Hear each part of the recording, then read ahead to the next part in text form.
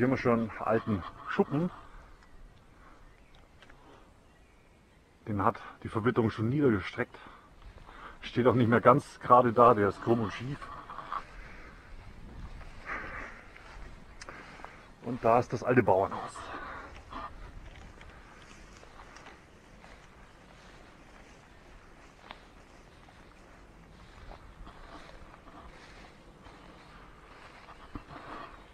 Nur einen Eingang finden, aber schaut gut aus. Dann sind wir drin.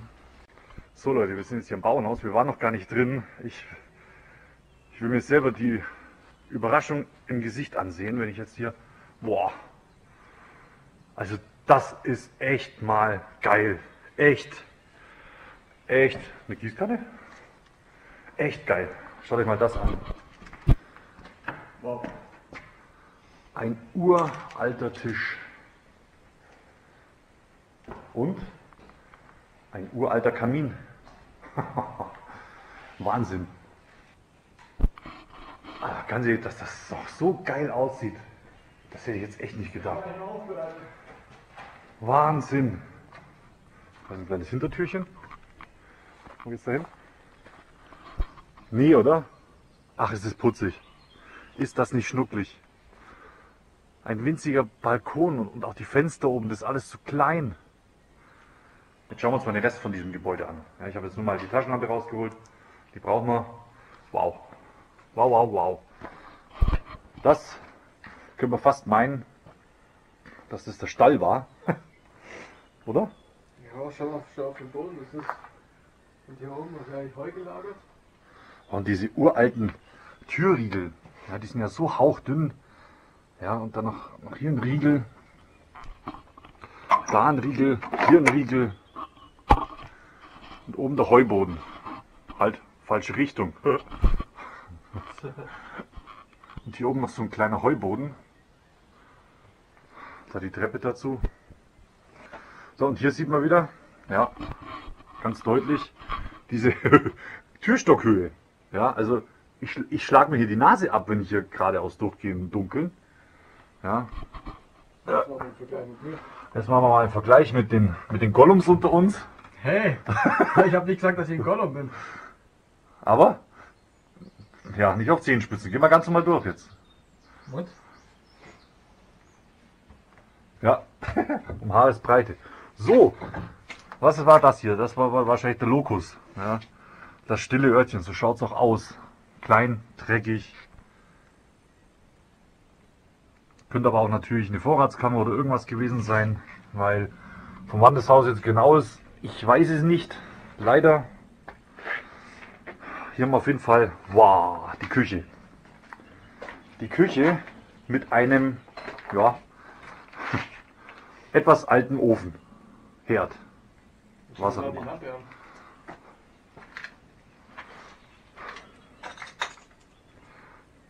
War die Gas betrieben? Scheint so. Ja. Da ist eine Leitung. Hier ist der Hahn. Also hier gab es wenigstens schon mal Gas. Wahrscheinlich auch. Nee, der Ofen ist glaube ich mit Kohle oder was befeuert worden. Schaut aus wie Kohleofen. Ja, ist so einer. Geht gar nicht auf. Und man hat hier sogar schon eine Abwasserleitung. Also es ist doch naheliegend, ja, dass die Kirche sowie dieser Hof um die 1950 verlassen wurde. Also kurz noch so weg. Warte mal. Bin ich jetzt erschrocken. Da ist gerade aus diesem Gesteinshaufen eine Maus in die Wand reingelaufen. Ja. Ganz rotzfrech. Hui, guck, guck.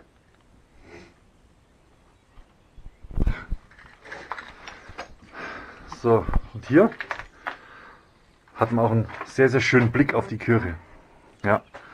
Also derjenige, der hier gewohnt hat, war hier in der Küche gesessen. Ja, früher waren das ja, gut gibt es heute auch noch Wohnküchen.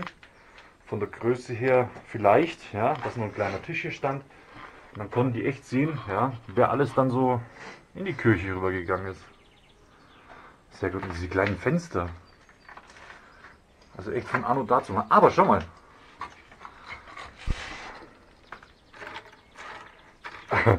Noch Vorhandstangen mit, mit, so, mit so Clips dran. Ist das nicht toll? Hier ist auch nochmal ein Kamin, was mich wundert. Weil, wo ist der Anschluss dazu? Hm. Würde echt interessieren, wer dann hier was die Türen und die Mauern hier alles sagen könnten. Ja, hier könnten einige Dinge viel erzählen. Mal hat er noch rote Fliesen hier drin gehabt. Die Holzwände verputzt, wo der Putz auch schon wegfliegt. Richtig schöne Holzdielen an der Decke. Krass. So, einmal durch Spinnweben durch. So, das war wohl die Stube. Das scheint die Stube gewesen zu sein. Ja. Noch ein Kamin, um die Stube zu heizen. Jetzt weiß ich auch, warum auf der anderen Seite ein Kaminanschluss war. Und hier Hängeregale. Kein Witz, hier sind Hängeregale. Aufgehängt an Seilen. Und die hängen hier immer noch. Die hängen hier immer noch nach über 60 Jahren, so wie es ausschaut. Das war hier anscheinend die Wärmestube oder so. Ja, das war die Stube hier. Also ich glaube jetzt nicht. Also das schaut eigentlich aus wie so eine Bank aus der Kirche vorne. Da standen zwar keine mehr, aber das schaut aus, als wäre die aus der Kirche gewesen. Ja, von der Verzierung her, von der Form her, von der Länge her.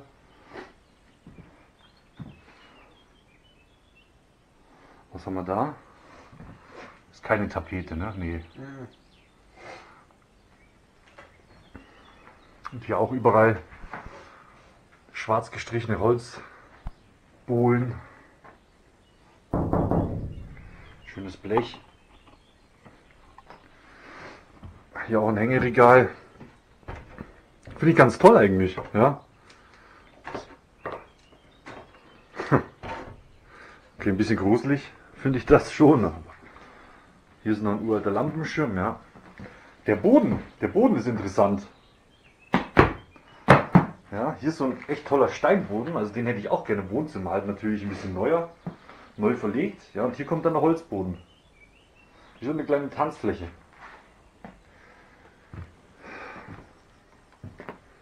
Und hier sind wir dann wieder hier vorne im Treppenhaus, nenne ich es mal. Und dann kommt hier noch, boah, also ich glaube, die Zimmer werden immer niedriger. Ja, also jetzt haue ich mir schon langsam die Kauleiste an. Jetzt muss ich mich richtig bücken. Oh Gott, da hat einer hingekackt. Ja, und hier ist wie gesagt nochmal ein Abzug. Anscheinend stand hier auch nochmal ein Kamin. Ist ja klar, früher gab es ja noch keine Zentralheizungen. Ja, da mussten, mussten die Leute jeden Raum einzeln irgendwie heizen. Ja, faszinierend. Also allein meine, meine Körperhöhe ja, ist höher als die Deckenhöhe. Wenn ich jetzt da nach oben schaue, die nächste Etage, ja. Oh Gott. Ich weiß nicht, ob man das hören kann. Das, das war mein Fuß, der geknackt hat.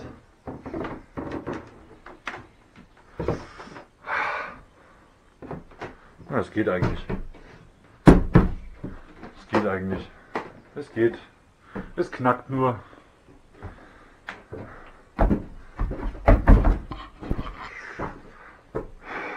Ja, die Deckenhöhe ist echt. Also ich muss hier schon geduckt gehen. Ja, hier oben sind die Räume noch kleiner.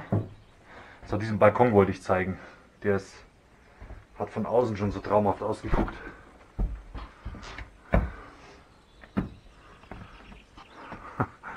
Ich meine, das schaut jetzt aus wie in, wie in einem Puppenhaus hier. Also ob das früher als Balkon benutzt wurde, ich weiß es nicht, aber ja, man hätte dann einen schmalen Stuhl hingestellt, mich draufgesetzt und dann wäre der voll gewesen. Gut, stabil wäre es wahrscheinlich, aber muss ja auch nicht sein. Dann diese schönen Fenster und Fensterläden sind immer noch da. Die Dachrinne, die vor sich hin rottet.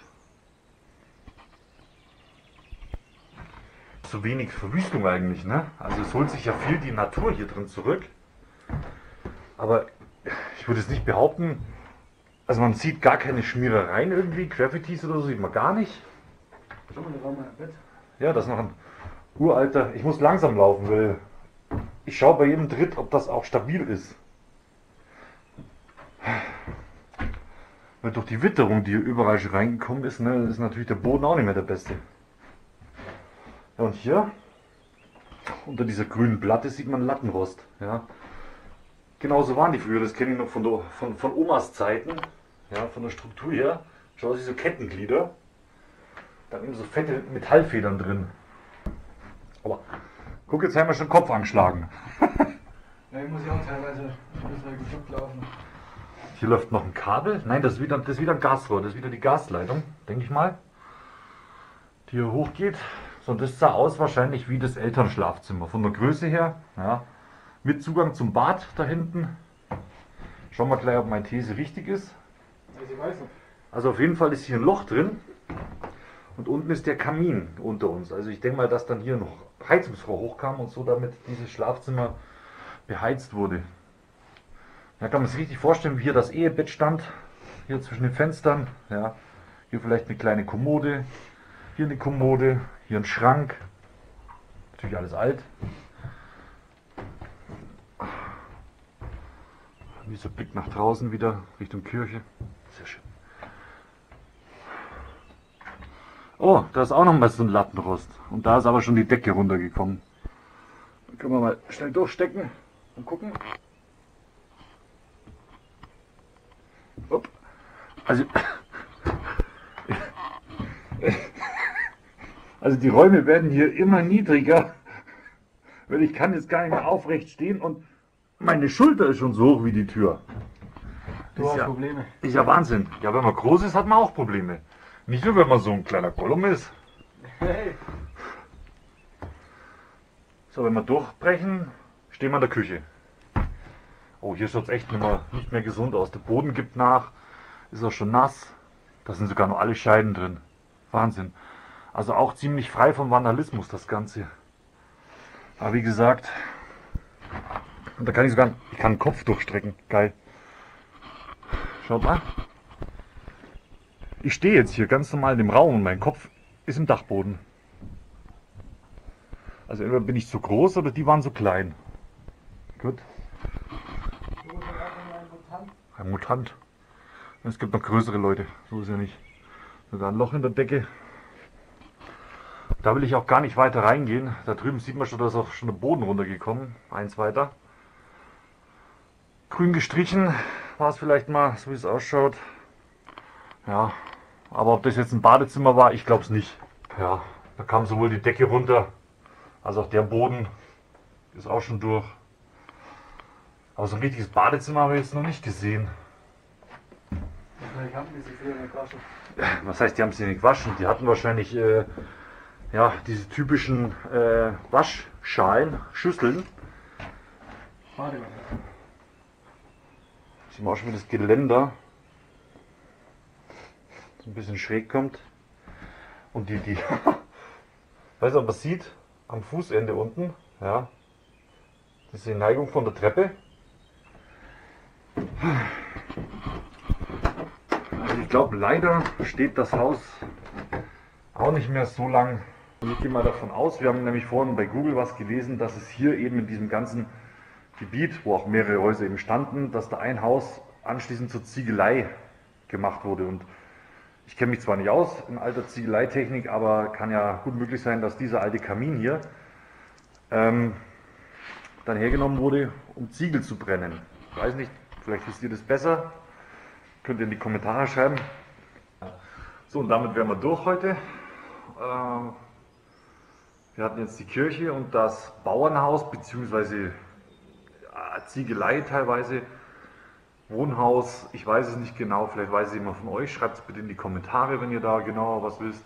Ist auf jeden Fall echt toll hier zu sehen, ähm, ja, wie und wo die Leute früher gelebt haben. Hier gibt es keine Straße hier raus, ja, man muss hier echt durch die Pampa marschieren. Ja. Aber das macht den Ort noch viel, viel interessanter. Ja.